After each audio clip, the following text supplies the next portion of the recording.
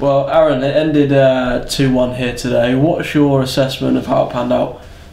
Uh, really not good enough from all of us, you know. Even me as an individual, we can all do better. We were like sloppy in our techniques towards the end of the game. We start in the second half. We started first sort of 15 minutes well, and then went downhill from there really. But we know we can do so much better than that, and uh, I'm sure that'll come with more minutes and more, you know, more time. But it, really, it's not acceptable to get beat off them. Uh, no disrespect to them, but we're Brentford and we should be winning that game. So, Can you put it down to anything in particular at all? um, not really, just f- focus. You know, towards the end we lost focus. We done some, made some sloppy mistakes, but you know that's something that will come.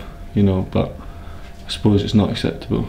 I suppose one of the real benefits is for you, particularly kind of getting minutes under your belt in terms of learning to play with the other players as well. Yeah, yeah, that's good. You know, uh, this is my first sort of start in a, a month and a bit, so you know it's good to get some minutes under my belt. I've got a lot more to come, so you know hopefully in time I'll be able to show more and more what I can do.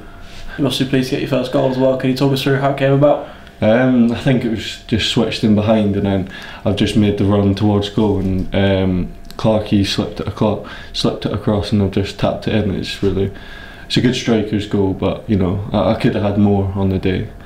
I had a header, probably could have scored with, and then you know some were fizzed across the face that I could have maybe got a couple more goals, but you know I'm off the mark, which is a good thing. So yeah. Because there were a few chances as well throughout the game in terms of, I think Joe had one, I think Freddie Yeah. had a shot as well. So Yeah. I guess it's just another lesson in kind of being clinical because obviously late in the game they, they went and won it. Yeah, exactly. You know, they've. I can't really remember them having a real well, a real chance. You know, we had a lot of the ball, and then we- we just need to learn how to you know break them down and get more out of our possession. Really. So But we, we quickly move on with the semi final on Tuesday of the, the Middlesex Cup. yeah, One opportunity that is. yeah. You know, it's, it's, it's a big game. We want to win trophies, so yeah, we'll go we'll go into that focusing on the game now. So.